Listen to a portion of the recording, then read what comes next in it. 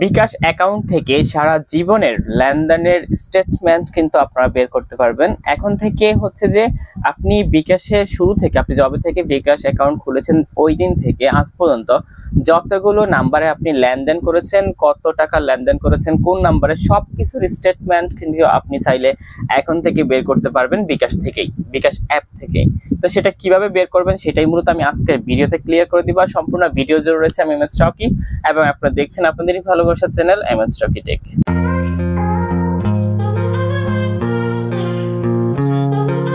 আমরা আমাদের যে বিকাশ অ্যাপটা রয়েছে, সেই বিকাশ আমরা বিকাশ অ্যাপে চলে আসছি। বিকাশ অ্যাপ বিকাশ অ্যাপ থেকে জাস্ট আপনারা যেটা করবেন, এখান থেকে আপনারা যেটা করবেন একদম কর্নারে যে আমি আপনাদেরকে দেখাচ্ছি, যে কর্নারে একটা অপশন রয়েছে জাস্ট আপনারা এখানে ক্লিক করবেন।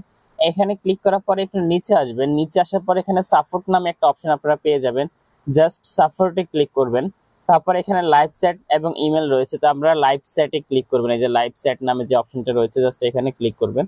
তো আমরা ক্লিক করছি। ক্লিক করার পর এখান থেকে আপনারা ভাষা সিলেক্ট করবেন ইংলিশ নাকি বাংলা, তো আমরা এখান থেকে বাংলাটা সিলেক্ট করে নিব, বাংলার মধ্যে টিকমার্ক দিব। এখন আমরা কাস্টমার সার্ভিসের সাথে যেহেতু কথা বলব, তার জন্য আমরা এখানে কাস্টমার সার্ভিস নামে যে অপশনটা রয়েছে, এখানে ক্লিক করব। এরপর এখানে আপনি লেখা রয়েছে কাস্টমার সার্ভিস প্রতিনিধির সাথে যোগাযোগ করতে হ্যাঁ বাটনে ক্লিক করুন। তো আমরা এখান থেকে হ্যাঁ বাটনটার মধ্যে ক্লিক করব। এরপরে বলছে আপনার নাম লেখার জন্য। হ্যাঁ আপনার চ্যাটটি ভবিষ্যতের প্রয়োজনে সেবা জন্য নিশ্চিত করার জন্য স্টোর অথবা মনিটর করা হতে পারে। কাস্টমার সার্ভিস প্রতিনিধির কাছে ট্রান্সফার করার আগে আপনার কিছু তথ্য দরকার। আপনার নাম লিখুন।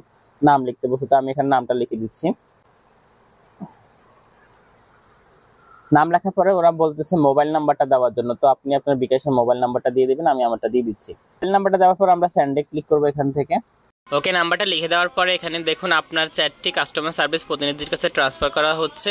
এরপর লেখছে, বিকাশ থেকে আসিয়া বলছে কীভাবে আপনাকে সহযোগিতা করতে পারে। এরপর দেখুন, আমি এখানে লিখে দিয়েছিলাম যে আপনার, আমার বিকাশ নাম্বারের স্টেটমেন্টটা লাগবে। তারপর আমি লিখছি, আপনার, ওনারা লিখছে আমাকে যে আপনার বিকাশ অ্যাকাউন্টের নাম্বারটি প্রদান করুন প্লিজ তারপর আমি আমার বিকাশ অ্যাকাউন্ট নাম্বারটা দিয়ে দিয়েছি এবং কত তারিখ থেকে কত তারিখের স্টেটমেন্ট লাগবে সেটাও আমি এখানে লিখে দিয়েছি। পরে আমাদেরকে এখানে মানে ইমেল দিতে বলছিল তারা এখানে।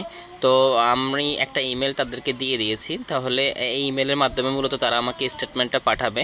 এরপরে তারা আমাদের কাছে একটা তথ্য চাইছে, আমি তথ্যটা দিয়ে দিয়েছিলাম। তথ্যের মধ্যে চাইছিল যে, আমার গত তিরিশ দিনের মধ্যে আমি মানে লেনদেন করেছি এমন একটা মানে তথ্য দেওয়ার জন্য। তো আমি স্যান্ড মানি করছিলাম একটা নাম্বারে পাঁচশো টাকা। লাস্ট ওটা আমি দিয়ে দিয়েছি, লিখে যে স্যান্ড মানি করেছি পাঁচশো টাকা।